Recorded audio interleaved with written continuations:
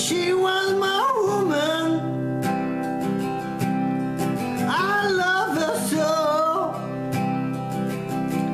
but it's too late now.